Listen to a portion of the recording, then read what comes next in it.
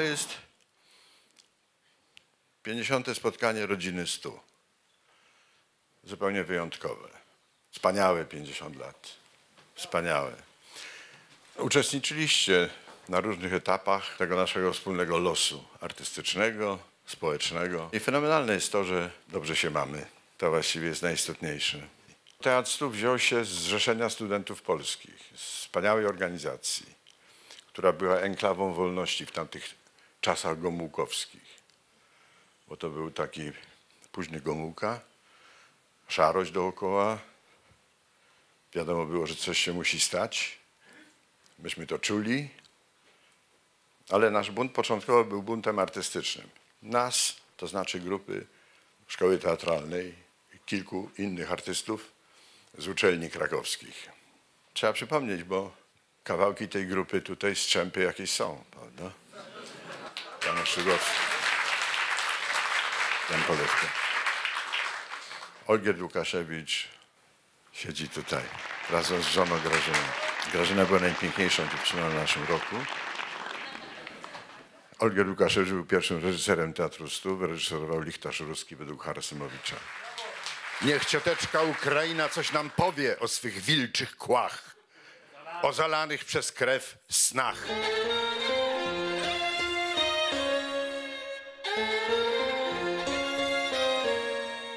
Przede wszystkim teatr Stu rodził się z naszych aspiracji w kole naukowym. Było koło naukowe, a potem Krzysiek zgarnął to do teatru Stu.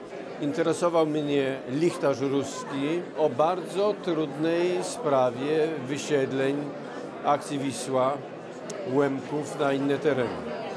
E, Tekst ten przez wiele lat się w ogóle nie ukazał. Ja nie byłem świadom, na ile jest to polityczne e, wyzwanie. Pokaż, pokaż mi ten słup, zgań go najpierw i pokaż. To pewnie tak musiało być. To, co się działo w wspaniałej szkole teatralnej, nie wystarczało. Czyli z jednej strony to był rodzaj takiego znużenia tym, co jest sztampą, co jest rutyną, ale to znużenie wynikało z potencjału, to znaczy, że na roku byli wspaniali ludzie, a ja byłem troszeczkę starszy, bardziej doświadczony. No i czułem ten potencjał, jaki istnieje. A druga sprawa to Kraków. To wszystko się działo pod jaszczurami, a przede wszystkim e, w teatrzykach czy w teatrach różnych, w klubach, w piwnicach. Tam się zbierali wspaniali ludzie i tam się musiało coś stać. Jednym z owoców e, tego, co tam fermentowało, był teatr stu. Byłem w gabinecie u naszego dyrektora. Przyszedłem umyślnie wcześniej. Nasz dyrektor to musi być bardzo mądry człowiek. Moim najbliższym przyjacielem y, był Jaś Łukowski, znakomity reżyser, który wtedy debiutował właśnie Gogolem, pamiętnikiem wariata. To by też pewnie było nic nadzwyczajnego, może to, że debiutował w tym pamiętniku Jerzy Trela, ale przede wszystkim to, że to nas, nas, Teatr Stu i całe to pokolenie z Teatrem Stu związane, katapultowało w Europę, w świat. No bo ten sukces 66 roku w Erlangen jest niewyobrażalny. Y, Pojechaliśmy na festiwal, na którym y, debiutowała cała późniejsza awangarda niemiecka. Tam się zaczynał postmodernizm wtedy. No. Y, I pamiętnik wariata wyniósł nas właściwie na całą masę festiwali. Myśmy przyjechali już do Krakowa opromienieni. Wszyscy po pierwszym kontakcie z Zachodem, który inaczej pachniał. I pamiętnik wariata jest takim najważniejszym spektaklem początku. Dopiero teraz uświadomiłem sobie w pełni e, siłę i desperację tego człowieka, który kiedyś przed lat, jeszcze jak przyjechaliśmy gdzieś z jakiegoś występu i przespaliśmy się na Brackiej, którą remontowaliśmy. I ja słyszę głos taki z podwórka. Patrzę się, jak Krzysztof stoi na tej kupie gruzu i mówi, ja tu kurwa zbuduję teatr. No i zbudował 50 lat. 50 lat e, budował ten teatr. Najbardziej mi przypomina tamtą bracką Bracka w nocy. Idąc w nocy do teatru albo wracając z teatru do domu. Specjalnie robię jakieś takie kółko przechodząc przez rynek. No to jeszcze nadrabiam dodatkowo, żeby, żeby przejść Bracką. No i wtedy zatrzymuję się po drugiej stronie i patrzę na bramę numer 15. Ale boję się wejść do korytarza. To już y, nie to samo. Na samym początku Brackiej 15 odbywały się przedstawienia. Ja tam właściwie wtedy oglądałem Pożądanie schwytane za ogon Pablo Picassa, gdzie Jurek e, Sztur grał główną rolę. Tam się mieściło 27 osób na spektaklu. Przechodziło się przez kuchnię i za kuchnią był taki pokój zrobiony na scenę. To miejsce dało mi odwagę.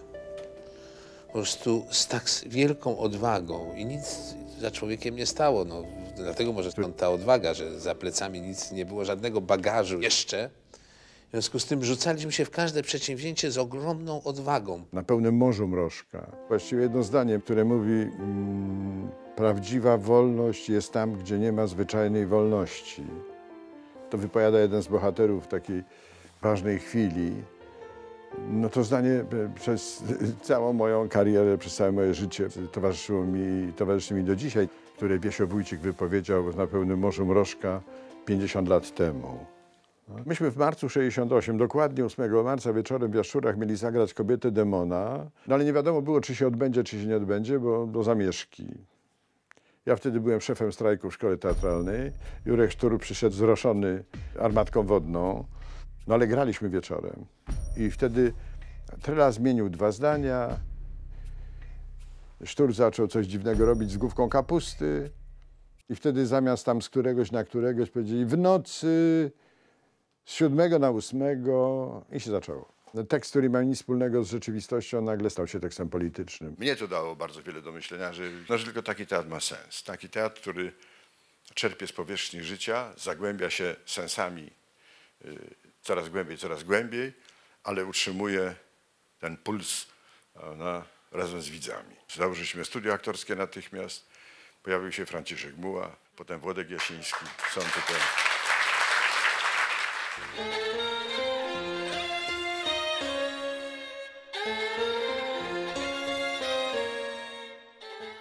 Zawsze to był teatr, który wyrażał także i moje poglądy.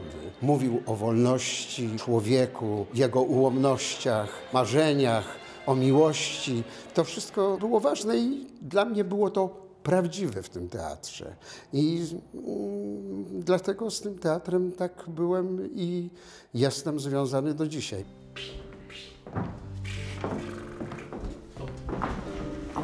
Co za geriatria! Dawać ich!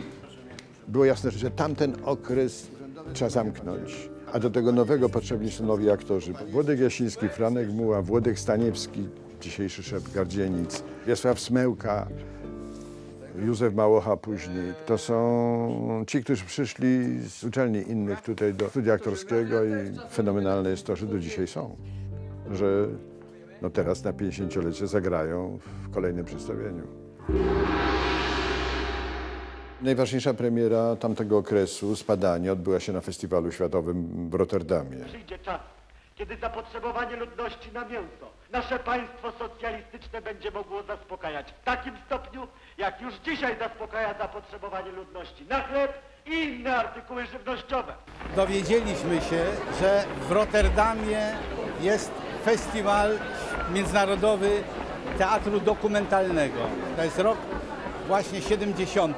i takich przedstawień Polski Teatr Studencki nie ma jeszcze. No i tak się urodziło spadanie. Idea tego scenariusza wypowiedzi złożonego z różnych tekstów, kolażowego, e, zbudowanego na kontrapunkcie, no to było to odkrycie nasze po prostu i to się tak zaczęło. Było wiadomo, że to jest niezgoda na tą rzeczywistość.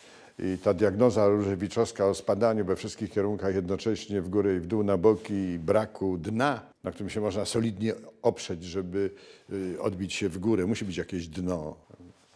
No i zatem było spadanie ogłoszone y, najlepszym spektaklem roku, Grand Prix w, w nauckich spotkaniach teatralnych, dokładnie w tym momencie, kiedy mm, Gierek zabrał Gomułce władzę. Myśmy płakali wtedy.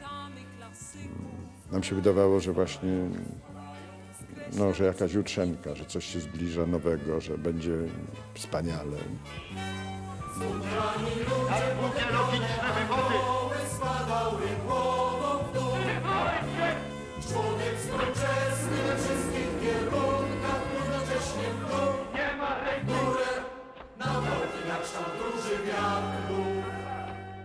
badanie nas wyniosło bardzo w górę i już do dzisiejszego dnia tak jest, że teatr stu przekształcał się tak, jak się przekształcała rzeczywistość.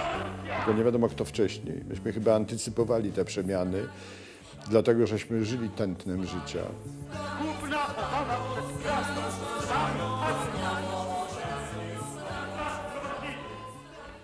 Przy senniku to ja prawie, mając wtedy około 30 lat, odkorkowałem. Jesteśmy na łódzkich spotkaniach teatralnych, a my tu żadnej polityki, żadnych tekstów politycznych, tylko klasyka literatury polskiej, najważniejsze fragmenty tekstów od romantyzmu do współczesności. Tak kulisami stałem i patrzyłem na reakcję widowni. Była cholerna cisza. Mnie tak waliło serce, że rzeczywiście myślę sobie, no nie dotrwam. Postaw się! Zastaw się, a postaw się! Wiwat! Wiwat! Wiwat! Tańcz, tańcz! Krakowiaka! To jacy, tacy, jacy, tacy chłopcy Krakowiaka. Ukoronowaniem tego pierwszego okresu był Exodus, bez wątpienia. Wspaniałe aktorstwo, znakomita muzyka na żywo, no i nowoczesna przestrzeń. Szukałem takiego teatru, który potrafi wzruszyć, poruszyć człowieka. Jednocześnie teatru, który z całą siłą potrafi przekazać słowo. I wydawało mi się, że spośród wszystkich teatrów najbliższy dla mnie teatr to jest Teatr Stu. Chcielibyśmy, aby sprawdzała się ta nadrzędna idea poetyki tego przedstawienia, mianowicie jego cielesność, jego zmysłowość, oddziaływanie na emocje widza, docieranie do tych miejsc widza w widzu, które zostały opuszczone.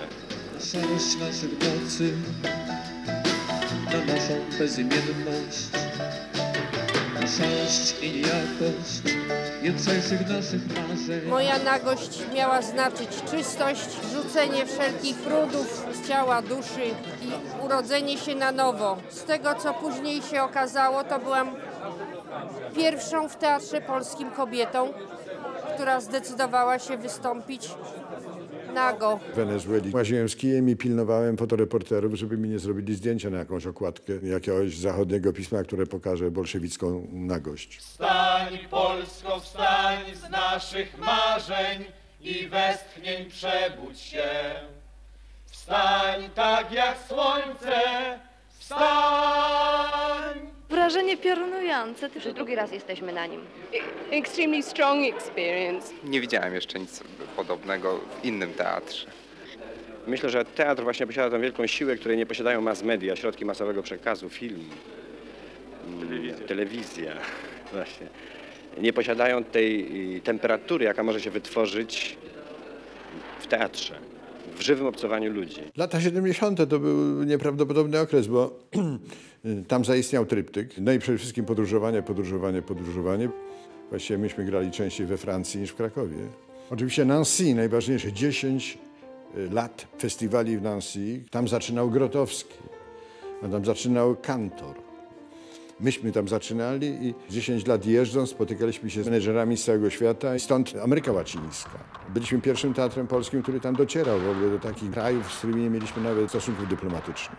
Pojechaliśmy na Dominikanę, występowaliśmy jako Narodowy Teatr Polski w Narodowym Teatrze Santo Domingo. Czy z Kolumbii przerzucaliśmy się na drugą stronę globu do Iranu, do Teheranu i Persepolis, jeszcze przed Chomeinim, gdzie gościła nas Farah Diba, która znała nas z Francji, bo studiowała Sorbonę. Tam zresztą było niesłychanie zabawnie, bo no, no, sennik polski, wyobraźcie sobie Państwo, na dworze perskim, na, na widowni perskie dywany, służby bezpieczeństwa pod, pod amfiteatrem, yy, elita. I jedynym mm, dziwnie chichoczącym widzem był Sławomir Mrożek, jedyny chyba, który rozumiał, o co nam chodziło w tym całym, w tym całym przedstawieniu. Niesamowite przeżycie było spotkanie z Federico Fellinim, który po spektaklu pacjentów w Rzymie, też graliśmy w namiocie, w Teatro Tenda. Przyszedł wyściskać i porozmawiać. Nawet mi krępuje, kiedy o tym myślę, jak on był serdeczny. Pierwszym kompozytorem w Teatrze Stu był świętej pamięci Roman Kowal, wspaniały człowiek. Drugim kompozytorem w 1967 roku był Tomasz Stańko. Kochani, wielka chwila. Tomasz Stańko z zespołem.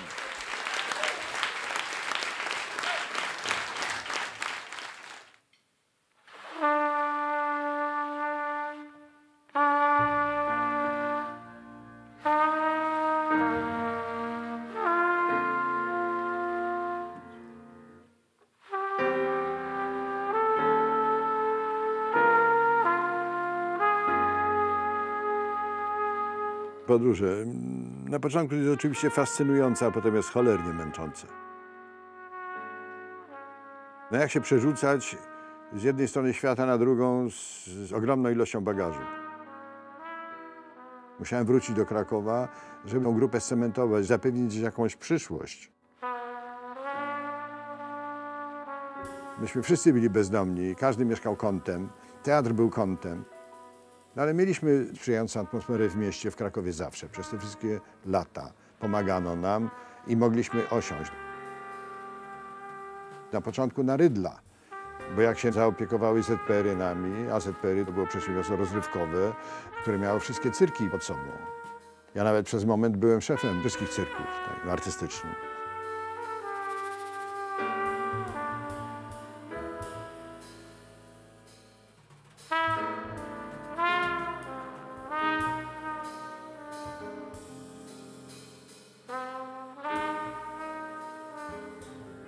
Więc postawiliśmy namiot na Rydla i tam zagraliśmy wielkie przedstawienia.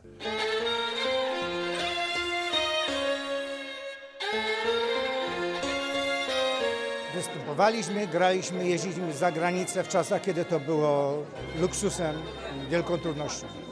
W Teatrze Stóp pojawiłem się 45 lat temu. Dla mnie bardzo ważna e, taka życiowa cezura i bardzo ważny spektakl teatralny to pacjenci. Po raz pierwszy w Polsce adaptację Mistrza i Małgorzaty Bułkowa to się u nas nazywało Pacjenci.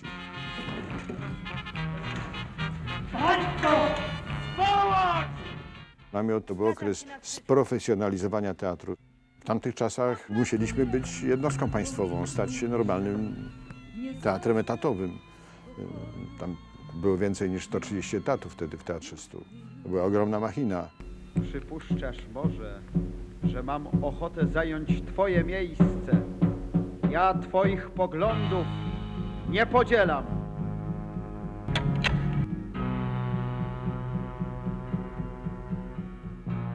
Namiot to była szansa e, na własne miejsce, ale jednocześnie ogromne zobowiązanie. Największy teatr w Krakowie, tysiąc miejsc na widowni. I teraz chodziło o to, żeby wystrzelić z czymś takim, co no, zapewni nam tam komplety codziennie. Mm, Grechuta przyszedł z Pawluszkiewiczem, przynieśli zamysł y, szalonej lokomotywy, więc Witkacy. No więc y, znakomita obsada, Marek Grechuta, Marla Rodowicz i Jerzy Sztur, który wtedy już był gwiazdą Starego Teatru. Panowie, życie jest krótkie, ach, jak krótkie. A Jestem zadowolony, że, że stać mnie było na podjęcie takiej decyzji. Na zabawę. Na wielkie szaleństwo, na wielką zabawę. Panowie, ja wiem, bawicie się dobrze. Panowie, ale ja nie mam czasu. Ja wypełnić muszę. Ja proszę o rozkaz. E, Potem zastąpił go Włodek Jasiński, bośmy tak intensywnie grali, podróżowali. Hop, szklankę piwa. Hop, hop, hop, szklankę piwa. Hop, hop, hop, szklankę piwa.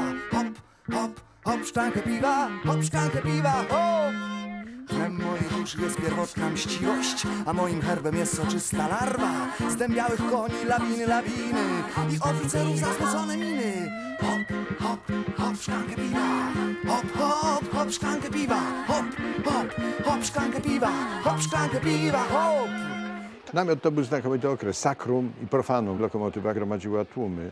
Pięć kompletów w spotku w Katowicach. Do, do tej pory nikt tego rekordu nie pobił. A w dzienniku telewizyjnym Irena Dziedzic powiedziała, że jest taki fenomen, że ludzie walą w Katowicach do spotka.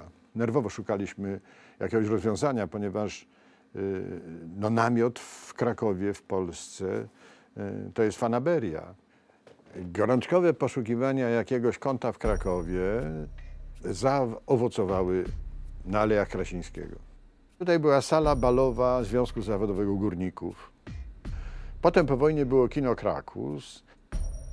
Przychodziłem nocą, patrzyłem na te dwie kolumny stojące po środku i zastanawiałem się, jak tu zmieścić teatr, teatr takiego bliskiego kontaktu. I wtedy przypomniałem sobie taką rycinę z wizerunkiem teatru elżbietańskiego. Także to jest miniatura Teatru pod Łabędziem. Otwieraliśmy scenę na alejach. Tajną misją to był dyplom studia aktorskiego.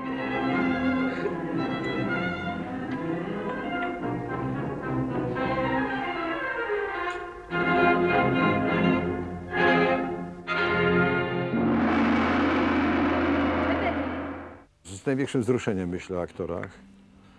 Oni zawsze byli na planie pierwszym i byliśmy bardzo silnie z sobą związani. Tutaj dochodziło do ślubów, nawet przez całe lata cere, od- odprawialiśmy ceremonię. A potem z tego się y, ukuł taki termin Rodzina Stu. Wspaniała grupa artystów orbitujących. A niektórzy są w samym środku od samego początku. No jest ich ciągle coraz więcej. Oni ciągle przyjeżdżają. Było tak, że od pierwszych dni żeśmy się nie mogli rozstać, więc stąd się zrobiła pierwsza Wigilia. Potem się zrobiło pierwsze stulecie i potem już musiała być każdego roku 20 grudnia Wigilia, a 20 lutego stulecie. No i teraz mamy 50. stulecie w Teatrze Stu. Chciałbym e, wszystkim życzyć e, szczęścia w życiu. E, Dla nas życie jest teatrem. Teatr jest dla nas życiem. Wobec pierwszego my musimy sobie życzyć szczęścia w teatrze. Y, dzisiejsza Wigilia jest 21. Wigilią. To naprawdę niezwykłe, że przez te 25 lat spotykaliśmy się co roku 20 grudnia o godzinie 20 na Wigilii w teatrze. To już 30 Wigilia w Teatrze 100. spotykamy przy tym stole, który ma nie wiem ile, ale są tutaj artyści, którzy na tym stole odbyli premierę i objechali z nim cały świat, bo to jest tu scenika polskiego. To jest miejsce aktorów. Mogliśmy obserwować, jak wspaniale dojrzewali, jak się zmieniali, ja wiem, starzeli. Dziesięciolecie spadania to jest Don Quixoteria. Jedziemy z tym spektaklem do Gdańska. Don Quixoteria to gorzki spektakl rozliczeniowy. Dopiero po latach widać, jak bardzo wtedy czuliśmy rzeczywistość, co się będzie działo, a wtedy wszystko było na powierzchni życia. Wałęsa, Solidarność, wielka szansa solidarnościowa. Każdego wieczoru, to było, czułem w marcu, to były te historie y, strajków w Bydgoszczy, napięta atmosfera. Każdego dnia inaczej się grało. Nie sposób było zapomnieć tego, czym żyje ulica, niczego nie zmieniając w tekście. Filtrowało się to, no i w jakiś sposób przekazywaliśmy to. Ten, ten niepokój, tę te, te chęć y, zwycięstwa i czekaliśmy na tę zmianę.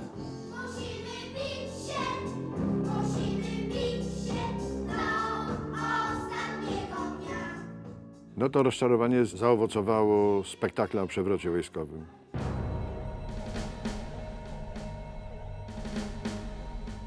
Na początku lat 80. zaczęto nam zarzucać, że zdradzamy pokolenie. Myślę, że to nieprawda. Myśmy uciekali od publicystyki, od codzienności, bo teatr nie jest od tego, żeby się karmić gazetą, tylko trzeba to wszystko przefiltrować, trzeba przeprowadzić analizę, odpowiednią syntezę i to w, znaleźć odpowiednie środki. I myślę, że te spektakle nasze były bardzo uniwersalne. One były na każdy czas. Chciałem, żeby zespół aktorski, oprócz tego, że będzie tym zespołem, który ma nieść nowe idee, był zespołem artystycznym, a nie grupą biegających y, ze szturmówkami. Wtedy był to teatr walczący. Każdy o tym wie, że nie ma nic gorszego dla, dla teatru, dla człowieka, jak zmierzyć się z własną legendą. No, ale czy jest możliwe, żeby ci nowi widzowie uznali go w takim samym stopniu za swój, jak ci widzowie, którzy towarzyszyli teatrowi stu w momencie jego narodzin? Każdy widz tego teatru startuje z innego punktu i to rzutuje potem na jego ocenę, na jego stosunek do tego teatru. Przez cały czas to była walka o przetrwanie. No, przetrwanie czego? Z jednej strony grupy, z drugiej strony teatru, z trzeciej strony programu. To po prostu niebywały zbieg okoliczności.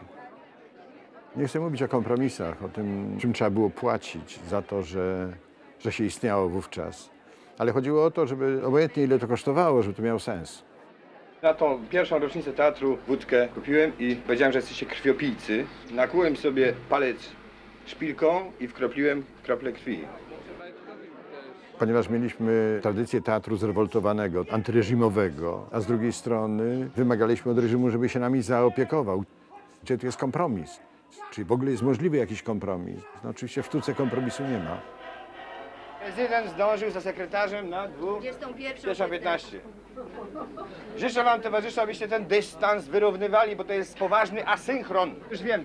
Wiecie co? Dlaczego to się spóźniło? Bo to jest jeszcze świeże. Pachnie farbą i introligatorem, po prostu.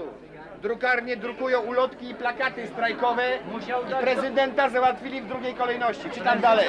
Musiał dać do cenzury człowieku.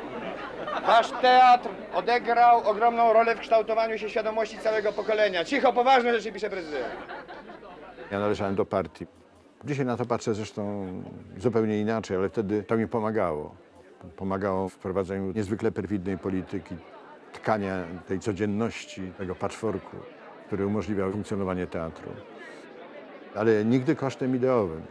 Spektakle i to, co było treścią tych, y, tych naszych y, manifestacji, obojętnie jakich. Gdzie by one nie były, bo przecież teatr to nie tylko spektakle, tutaj tylko jeszcze przeze mnie wspólnie z zespołem robione wielkie widowiska. W Oświęcimiu graliśmy na 30-lecie napaści Niemiec hitlerowskich na Polskę, dla Gomułki wówczas, wstrząsające jako doświadczenie. 10 lat Wyspiańskiego pod Wawelem dla 200 tysięcy widzów. Myślę, że spełniamy marzenia Bogusławskiego, Wyspiańskiego o Teatrze Ogromnym. Stanisławie Wyspiański, któryś wawelski Akropolis unieśmiertelnił. Przybywaj. Nazywam się Konradem. Tę ziemię ukochałem szałem. Słowa z wyzwolenia, które padają ustami Jerzego Treli z wieży wawelskiej, należą do kanonu tych najważniejszych słów dla naszego narodu i myślę, że Katedra gaś. te słowa mówią same za siebie. Musieliśmy się przeobrażać przynajmniej 10 razy przez te y, 50 lat. A najważniejsze jest słowo, które pada z tej sceny i aktor, który wypowiada. No i to wszystko tak pięknie się toczyło, aż po prostu przyszedł taki moment, kiedy się wydawało, że y, trzeba będzie zamknąć ten interes. To było tylko dwa razy. Raz, kiedy nastał stan wojenny i ja tylko raz nie przyjechałem tutaj przez te 50 lat na Wigilię. I kiedy się dowiedziałem, że wyście tu przyszli i byli do rana, mimo stanu wojennego, strasznie mi się głupio zrobiło, okropnie. Ja nie przyjechałem dlatego, że byłem zwalony z nóg.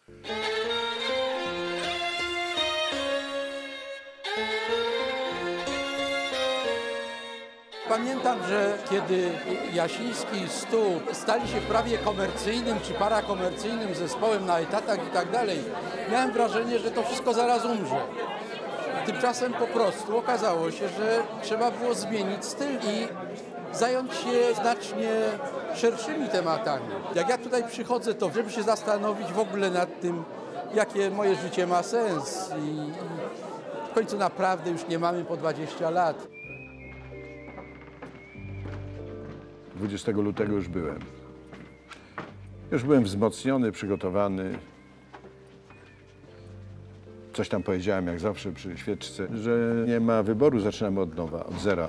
Że co innego, kiedy się jeździ po festiwalach po świecie, gra się w jakiejś szczególnej atmosferze święta, a co innego, kiedy to święto ma być codziennie dla publiczności, która będzie przychodziła w jedno miejsce i trzeba tak pracować, żeby ta publiczność uznała, że to miejsce jest jej teatrem, jej miejscem i będzie się starzała razem z nami, przyprowadzała swoje dzieci.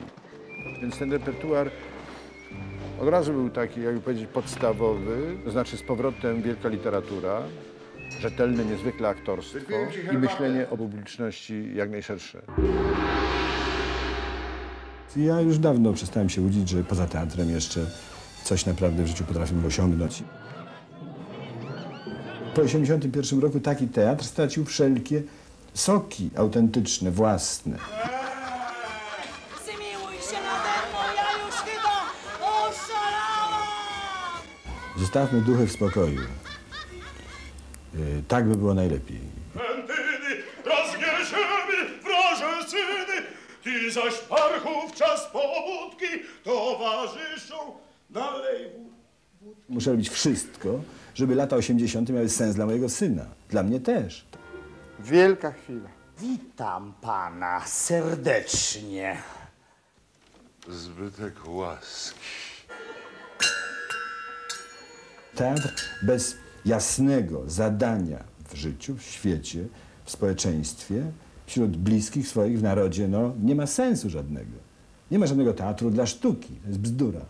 Idziemy dusi, dławi, nie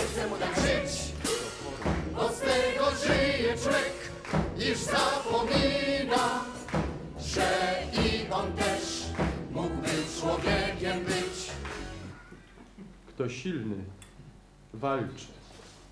Kto chory, zdycha. No i niech mi pana porzuci pozycję jak przy raporcie. Wedle rozkazu. Tak, pogadamy. Co to za obyczaje? Od kiedy to do mnie wchodzicie bez meldowania i, i z dziewczyn? Najważniejsza w teatrze jest publiczność. Ona decyduje o tym, czy te nasze wspaniałe utopie w ogóle w jakimś stopniu się da, dadzą realizować. Publiczność nie opuściła nas nigdy.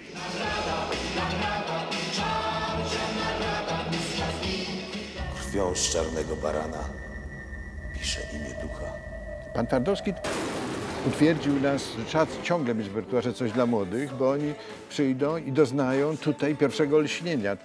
Do widzenia! Do widzenia! Słowo dałem, słowa nie mam! Wiele zawdzięczam teatrowi w takich ciężkich czasach, w latach 80. Krzysiek e, przygarnął mnie i grupę aktorów, z którym współpracowałem. Większość artystów może wcale nie wiedząc o tym żebrze. Osobiście uważam, że sztuka jest dla tych, którzy nie mogliby się bez niej obejść. Prawie dekadę e, ten e, budynek był moim właściwie pierwszym domem. To była kolebka takich spektakli, które prawdopodobnie nigdzie indziej bym nie zrobił jak tutaj. Ach nie, na Trybuna ludu! Trybuna ludu! Trybuna ludu!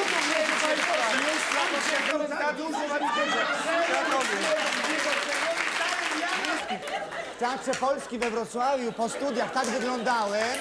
Publiczność e, dzięki specyfice tego budynku była jakby jednym z bohaterów tych wszystkich e, dramatów, e, po prostu przedstawień, które tu robiłem.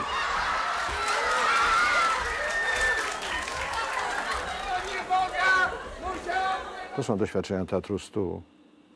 To jest całe pokolenie menedżerów, dyrektorów, aktorów, kompozytorów, muzyków, scenografów, którzy stąd wychodzili. Oni stanowią tą rodzinę. Jesteśmy w Teatrze 100. Yy, Nie mylicie się Państwo rzeczywiście w Teatrze 100. Tutaj, na Brackiej 4, yy, kiedyś pracowaliśmy i żyliśmy. A teraz na pamiątkę mieści się tutaj Galeria Teatru 100. Czeka Was spotkanie z Mieczysławem Wejmanem. W tradycyjnej galerii Stu wystawa obrazów Edwarda Dwórnika. Kiedy dwórnik y, ostatni raz y, wystawiał w Krakowie, kto pamięta? Nigdy. Nieprawda. Nieprawda, wystawiał w, 60, w 77 roku w Galerii Teatru Stu.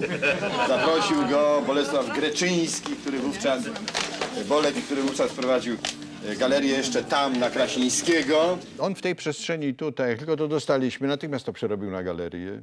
Tu odbywają się wielkie wystawy, tutaj nawet Szapocznikow, Cieślewicz, Dwórnik, no kogo by nie wymienić.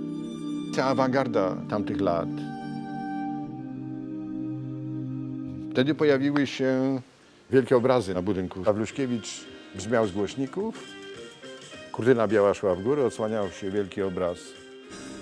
Odsłonięciem 20 już obrazu na fasadzie budynku Teatru Stu rozpoczął się tu wieczór inaugurujący nowy sezon artystyczny. Trzeba było szukać jakiejś wielkiej przestrzeni, żeby 100 obrazów zawisło naraz. No tak było raz w Krakowie na Błoniach, czasami na Kopcu Kościuszki, na Expo Sewilli. Dlatego tylko, że byli tu plastycy, żeśmy blisko pracowali, że Getz Stankiewicz, Jan Sawka, no, wielcy polscy graficy, bo oni przede wszystkim budowali kolekcję wspaniałych plakatów. No ale to już jest historia. Za tymi drzwiami nagrywamy muzykę. Na górze jest studio, reżyserka studia nagrań i nagrywamy, nagraliśmy do tej pory 53, 53 longplaye. Teraz nagrywamy 54 longplay.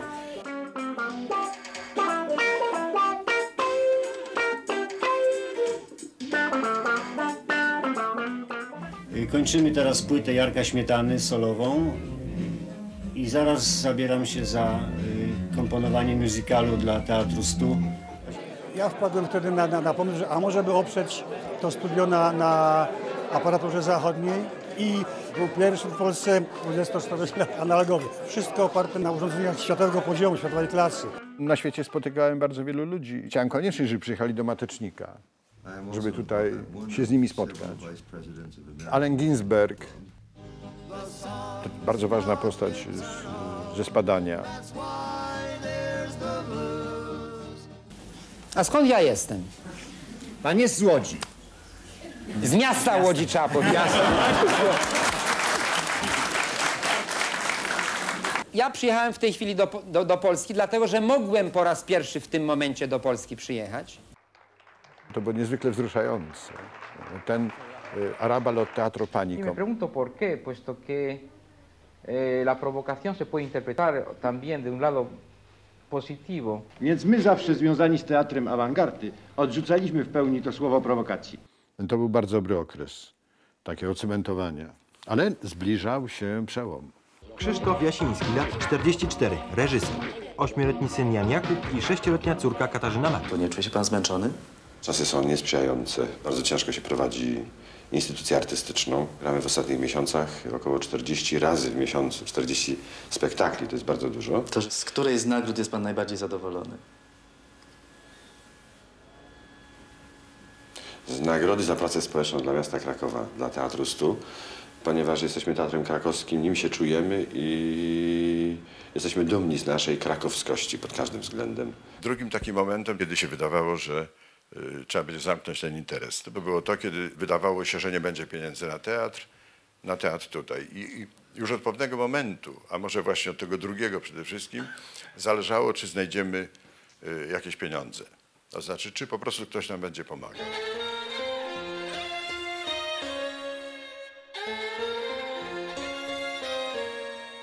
Byłem między innymi portierem tutaj, e, ponieważ tam no, redukcje etatów następowały. Pamiętam, e, siedziałem na portierni, e, koledzy Grabowscy, Peszek tutaj próbę mieli.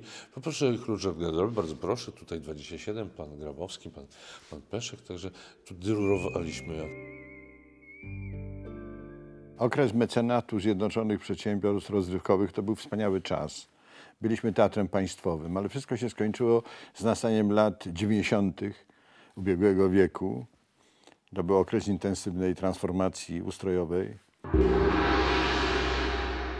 1 lipca, po 26 latach działalności, przestaje istnieć jedna z najciekawszych scen krakowskich. Dzisiaj zespół Teatru Stu otrzymał wypowiedzenia z rąk dyrektora Krzysztofa Jasińskiego. Tegoroczne potrzeby teatru wynoszą 6 miliardów złotych. 2 miliardy przekazał mecenas, czyli Zjednoczone Przedsiębiorstwa Rozrywkowe. Kolejne dwa to zyski teatru. O brakującą kwotę dyrektor Jasiński bezskutecznie zabiegał u wojewody, prezydenta i Rady Miasta. Czy jest szansa na uratowanie teatru? Szukamy sojuszników, którzy nam będą pomagali w tej trudnej sytuacji. E, Kilka lat temu powstała Fundacja Stu i jestem założycielem tej fundacji. Natomiast e, fundacji na pewno nie uda się prowadzić Teatru Stu na takich zasadach, w jakich e, on funkcjonował tutaj, to znaczy grał 40-45 przedstawień miesięcznie dla krakowian. Wydawało się, że rozwiązanie zespołu no to jest jakiś koniec, że no już nie ma tego zespołu, to nie ma tego mitycznego Teatru Stu, teraz trzeba znów od nowa to wszystko budować. No rozwiązać zespół, no to przecież no i co? I co w to miejsce? Że ja rozwiązywałem po to, żeby zawiązać go na nowo, tylko na innych zasadach. Chciałem powiedzieć, że etaty są nam do niczego niepotrzebne, wręcz przeciwnie, są kulą u nogi. Miałem 23 rozprawy w sądach. Chwała Bogu, wszystkie wygrałem. Po latach się okazało, że to było zbawienne, że zespół to jest co innego niż zbiór etatów.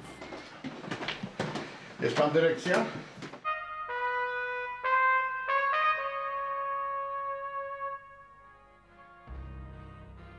Do czasu rozwiązania Teatru Stu ja miałem bardzo wiele do stracenia. A teraz po prostu mam niewiele do stracenia. Zdecydowałem się na arcydramat Becketa, na moim zdaniem najważniejszy dramatyczny tekst, jak po wojnie został napisany. Wydawało mi się, że jest to najlepsza okazja, żeby zaproponować Krakowowi pozycję repertuarową z najwyższego C. Nie iść tu na żadną łatwiznę w tych trudnych czasach. Wszyscy patrzą na mnie. Patrz na mnie, bydlaku. Teatr aktorski To znaczy taki repertuar, który wymaga od aktorów mistrzostwa. I to był spektakl, jeden z najważniejszych w, moj, w moim życiu. Ale też e, rozmowy przy wycinaniu lasu Stanisława Tyma. Taki głód był, że nic nie było. Korzystałem z chwili kryzysu w Teatrze Starym i, i wtedy tutaj Bińczycki przeprowadził całą watachę wspaniałych aktorów. Znakomity okres współpracy ze Zbigniewem Zapasiewiczem. Pięć lat tutaj pracował, reżyserował. Kiedy cię bliźni trzaśnie w pysk, gniewu swego błysk. Wydawało mi się, że mam piętno e, enfant terrible poprzedniego reżimu. E, No więc teraz wolna Polska i nagle dostaję propozycję objęcia, objęcia e, ośrodka telewizji w Krakowie. No, że ze zdumieniem przyjąłem tę propozycję i rzuciłem się w wir roboty telewizyjnej. Dla mnie to był bardzo ważny moment. Ani na chwilę nie opuściłem Teatru Stu. Myśmy pierwsi w Polsce prowadzili mszę świętą na antenę. No, wtedy to była odwaga, dzisiaj to jest normalność. No i wielkie doświadczenia na rynku. Gratulujemy telewizji krakowskiej. Mam nadzieję, że dała początek takiej właśnie tradycji wspaniałej. Zrobiliśmy pierwszego Sylwestra telewizyjnego w Polsce. To było nieprawdopodobne przeżycie. Taki tłum ludzi i pewność, że nic się nie stanie. To znaczy, że nikt nikogo nie zabije butelką, że nikt nikogo nie stratuje, że spotykamy się, żeby wyrazić wspólnie radość z tego, że jesteśmy, że nowy rok, że ten następny rok będzie lepszy. Dla mojego pokolenia to niesamowita sprawa. Młodzi ludzie już tego nie przeżyją, no bo żyją w innych czasach, w lepszych. A myśmy jesteśmy tym pokoleniem, które no, dorobiło się czegoś takiego jak Sylwester na rynku. Niesamowite. Przygotowanie benefisu no trosz, troszkę było zawsze nerwowo, bo trzeba było oprócz tego, że przekonać ludzi, e, to utrzymać to w tajemnicy e, e, i jeszcze zrobić jakieś rzeczy, które były dużym zaskoczeniem dla tej osoby.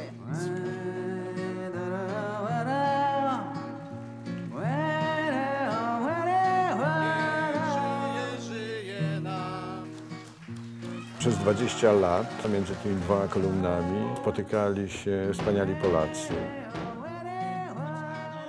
Ja wykrzykiwałem jakieś takie hasło, które na gorąco kiedyś ukułem. Kochajcie artystów, kochajcie teatr.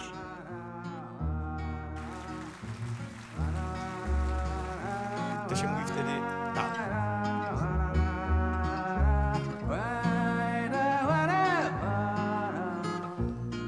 Nieśmieszne. Chodziło o to, żebyśmy patrzyli na siebie jakimś ciepłym spojrzeniem i żebyśmy dostrzegali w sobie to, co mamy najlepszego i dzielili się tym.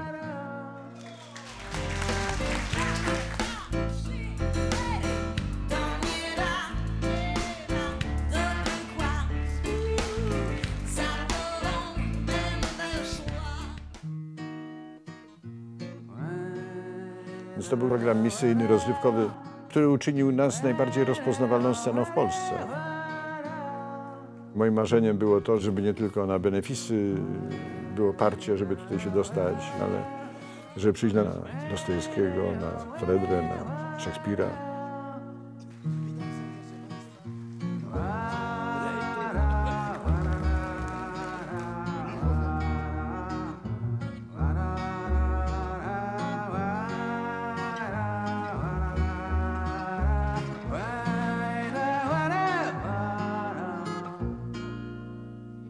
Pierwszy na Błoniach, na, na obszarze 10 tysięcy metrów została na jedną noc wybudowana scena.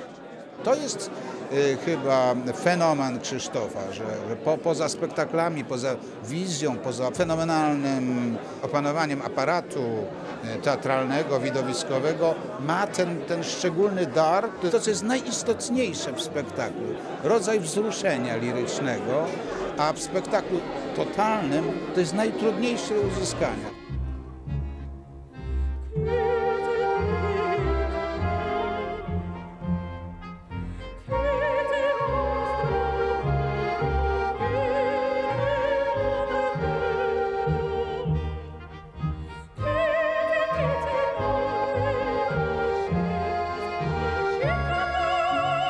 Zespoły cygańskie całego świata.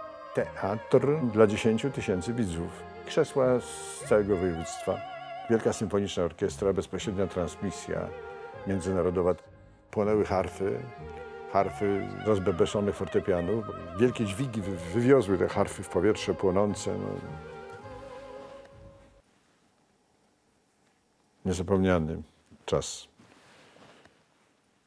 Kłopoty finansowe Teatru 100 rozpoczęły się już dawno wraz ze zmniejszeniem dotacji. Sytuację pogorszyło przejęcie w ubiegłym miesiącu budynku przy Alei Krasińskiego przez dawnego jego właściciela, Konfederacji Związku Górników Polskich. Krzysztof Jasiński i Mikołaj Grabowski czynią starania, by utrzymać tę jedyną w Krakowie scenę impresaryjną, przedstawiając w memoriale szerokie możliwości nowego funkcjonowania teatru. Teatr przyjąłby nazwę Scena 100 prostu. Jeżeli coś się nie stanie, jeżeli nie zmieni, jeżeli ktoś nie wyciągnie ręki i nie zmieni się, teatr tu zniknie. Zniknie ta scena, widowiska telewizyjne, beneficy, spotkania jazzowe, no znikną wreszcie spektakle i, i cała masa premier i sytuacji, które mogą się w tej, na tej scenie yy, zdarzyć. Do końca roku w teatrze wystawiane będą najlepsze spektakle zrealizowane w stu, a jeżeli władze miasta nie przyjmą projektu twórcy teatru, w grudniu zakończy on działalność. No i po pół roku dostaliśmy odpowiedź.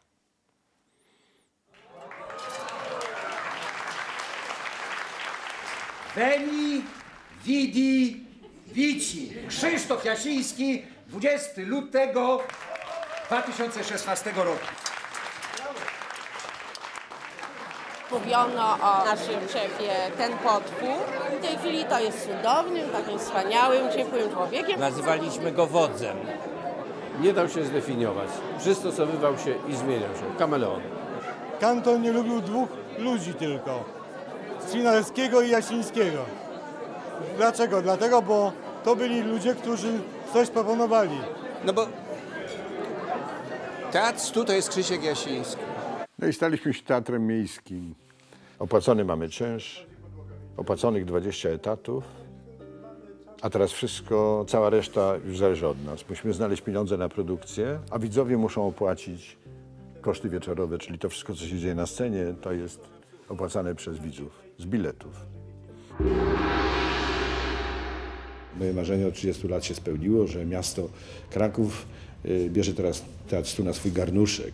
Właściwie zadecydował o tym wojewoda krakowski wspólnie y, z zarządem miasta Krakowa. Będzie dwóch kierowników artystycznych. Jedni kręcą na to nosem, drudzy mówią, no biedny ten dyrektor naczelny, który będzie dzielił uczucia między Jasińskiego i Grabowskiego.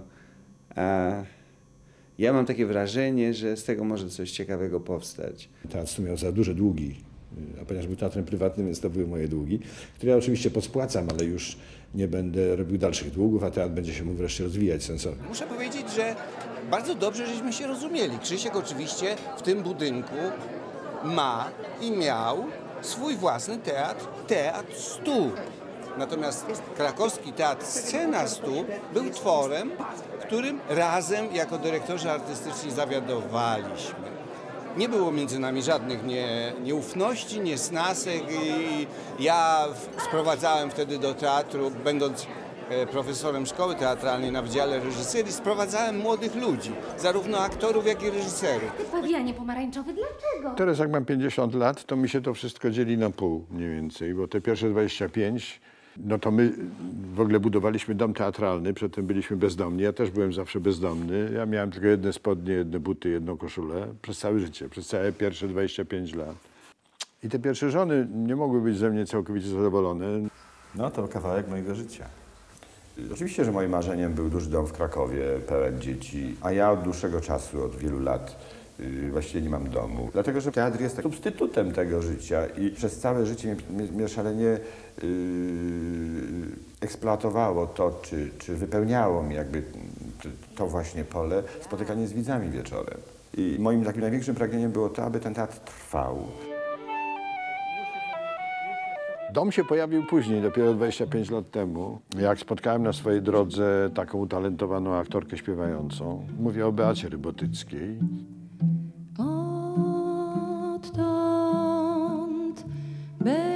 Będziesz dzielił ze mną czas na pół, ciepłem lekkim swych dłoni.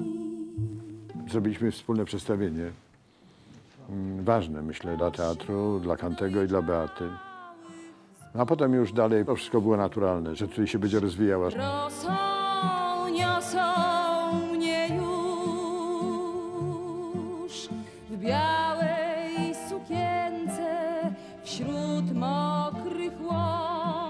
tej chwili ogrodnictwo powoli wypiera reżyserię i reżyseruje ogrody na Mazurach i to jest ogromna pasja i ją bardzo kocha i ją realizuje. Tu też była zawsze potrzebna taka umiejętność przewidywania i widzenia czegoś do przodu. Bo jak on mi mówił, co to będzie, gdzie to będzie rosło, jakie będą proporcje drzewa do krzaków, ja po prostu tego kompletnie nie, nie czuję. Muszę coś zobaczyć, żeby wie- wiesz, powiedzieć, czy, to, czy, czy mi się to podoba, czy nie. A on ma taki dar. Przecież tylko tak żartuję. My się bardzo lubimy. Właściwie to my się, wiesz, kochamy. Teraz Beata Robotycka jest gwiazdą tego teatru. Dorobiła się samodzielnie pozycji. Gra Szczęśliwe Dni Becketa jako jedna z światowych aktorek. W Polsce na stałe od czasu do czasu grają trzy aktorki, a ona ma w repertuarze od 10 lat te Szczęśliwe Dni, które dla mnie też są niezwykle ważnym doświadczeniem. Każdy zresztą spektakl becketowski skonfrontowany szczęśliwie z publicznością. Szczęśliwy dzień mimo wszystko. Myślę, że ma tajemny plan co do tego, co chce robić dalej. I gospodarność wodza w Hamlecie naprawdę mnie ujęła.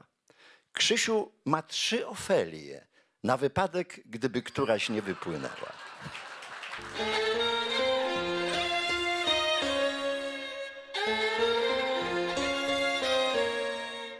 Czy istnieje teatr w Polsce, którego dyrektorem byłby człowiek, który sprawuje tę funkcję od 50 lat? Dlaczego ja Krzysztofa ciągle nazywam nestorem polskich dyrektorów i reżyserów? Dlatego, że ja wyrażam przez to mój szacunek, ale przede wszystkim prawdę. Przypomina mi się zdanie z dziadów Mickiewicza. Czemu to o tym nie chcecie pisać panowie? Więc to mówię. Rok 2000 był ważnym horyzontem. Teatr tu jest wzmocniony, publiczność przychodzi. Co wystawić? Coś największego, najwspanialszego. Ukoronować. To może być tylko Szekspir i Hamlet.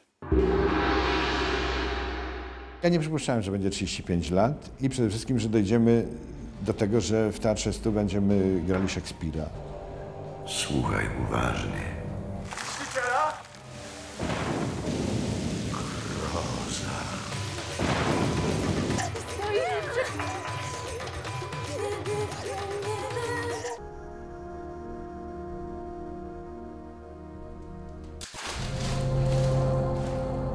Niczego właśnie nie wy- wymyśliliśmy, no, tylko przeczytaliśmy dobrze tekst. Tam jest woda, tam są żywioły, tam jest niezwykle rozemocjonowany człowiek wśród tych żywiołach, nawet szczury są żywe. Reszta jest milczenie. Dzisiaj być wiernym autorowi, yy, to nie tylko, że to jest niemodne, ale to naprawdę jest trudne. Córuś moja, dziecię moje. Zemsta Fredry, no rany boskie, to oczywiście 50 lat temu na pewno mi to do głowy nie przyszło. Ale dzisiaj jak obserwuję tą najmłodszą publiczność, to czuję, że coś bardzo ważnego się tutaj dzieje. Że wychowujemy sobie kolejne pokolenie widzów. Ta karta moim ręku teraz cała, tak tu spyszna byś się miała, utarłbym cię w proch z kretesem. Tak się składa, że mm, te pozycje, które mamy w repertuarze, te pozycje klasyczne, to są te mm, pozycje misyjne, które bez wątpienia mogą coś zmieniać w nas, widzach. Wtedy to, co jest y, sensem teatru, to dążenie czy pragnienie, żeby człowiek był lepszy, że po to przychodzi, żeby stawał się lepszy, no to ma wtedy jakiś sens. Sztuka jest ponad podziałami. Na każdy spektakl artyści z Ukrainy przyjeżdżają do Polski od wielu lat po to, żeby grać wielkiego, wspaniałego klasyka rosyjskiego.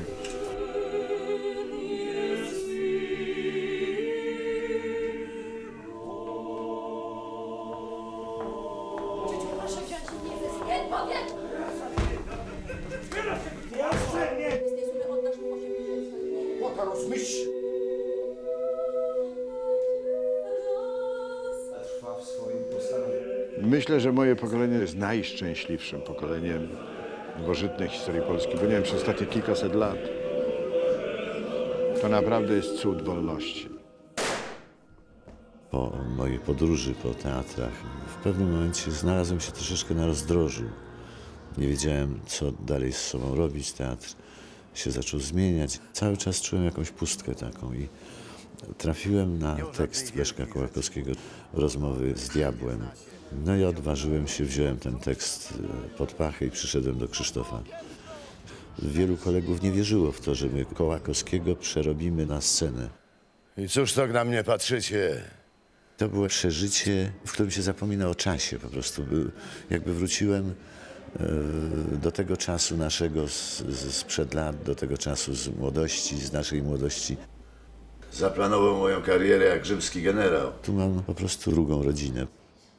A tym moim e, młodszym ojcem, drugim, jest znowu Krzysztof. Także jak go nie kochać? No po prostu Królestwo zakonia! Stanisław Wyspiański. To był mój teatr niemożliwy. Ja całe życie go nosiłem w tornistrze. Panno młoda, młoda panno.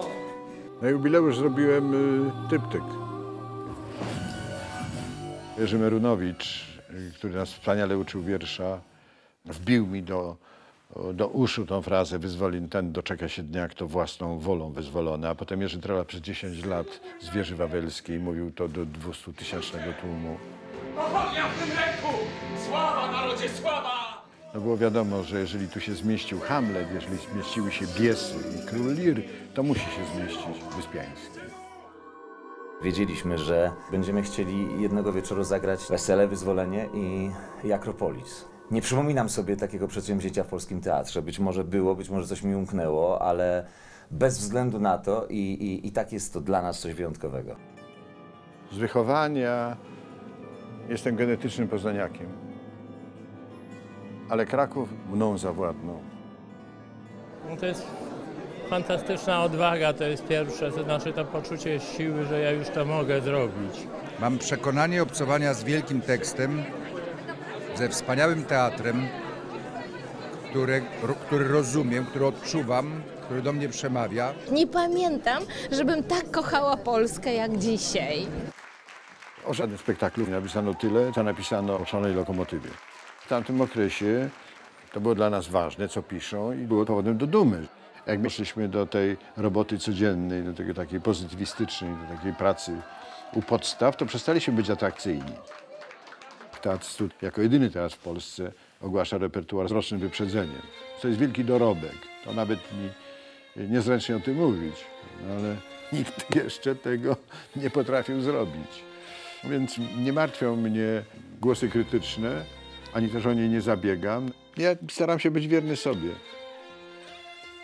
Szanowni Państwo, witam Państwa bardzo serdecznie na naszej uroczystości z okazji 50. urodzin Teatru Stu.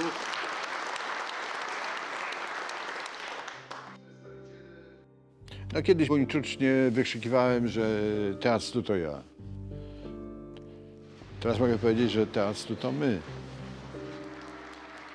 Jak zakładałem teatr, zawsze chciałem, żeby trwał długo. Nie, miałem pojęcia, jak to długo będzie. A ja zawsze widziałem kilka lat do przodu i planowałem kilka lat do przodu. A teraz muszę zamykać, bo to jest zupełnie naturalne, że w pewnym momencie trzeba zejść z ringu, byle w pełni sił i z podniesioną głową. te 50-lecie tego teatru to takie jak prześwietlenie życia człowieka od młodości do dojrzałości. 50 lat na jednym stołku jest wystarczająco wiele, to raz.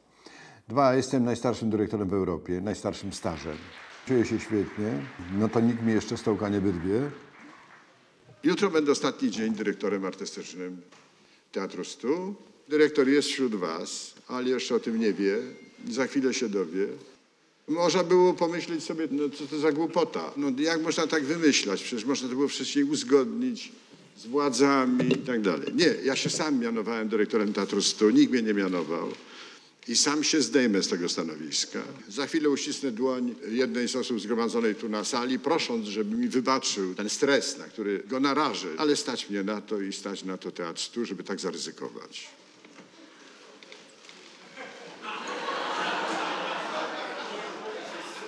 Nie przestanę być reżyserem, ale przestanę być dyrektorem teatru. Będę miał trochę więcej czasu, żeby jeszcze posadzić jakieś drzewo, żeby podlać jakieś kwiaty.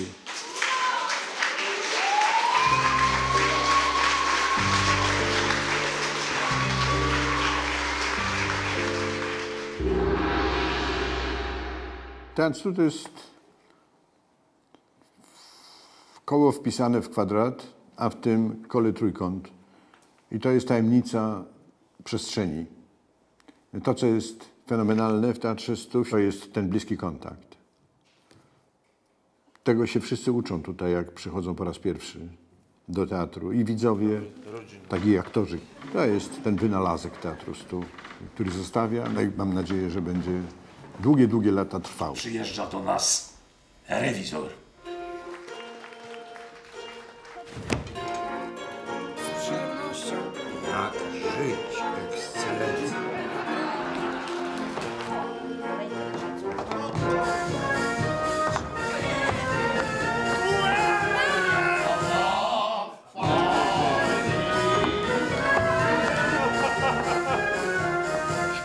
się śmiejecie? Tekst Gogola jest genialny. On nigdy nie był dla mojego pokolenia tak aktualny, jak jest w tej chwili. My odchodzimy. W sposób naturalny, biologiczny odchodzimy. No, trzeba pokazać, co za nami, co się czai. No bo bez wątpienia e, rewizorzy do nas przyjeżdżają. Postanowieniem prezydenta Rzeczypospolitej Polskiej za wybitne zasługi dla kultury polskiej, za osiągnięcia w pracy artystycznej oznaczony został Krzyżem Komandorskim z Gwiazdą Orderu Odrodzenia Polski pan Krzysztof Jasiński. Myślę, że będziemy teatrem starzejącym się harmonijnie. To znaczy, przyglądając się naszej biografii, będzie można powiedzieć o biografii całego pokolenia. Będzie można powiedzieć, a przecież to jest ogromne pokolenie, będzie można powiedzieć o jednym wielkim przedstawieniu, które się nazywa życie.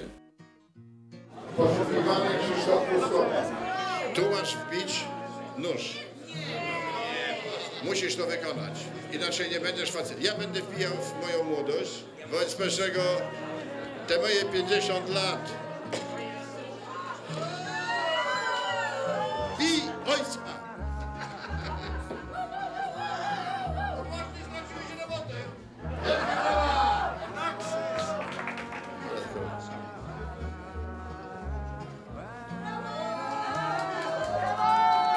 No, zostawmy tu.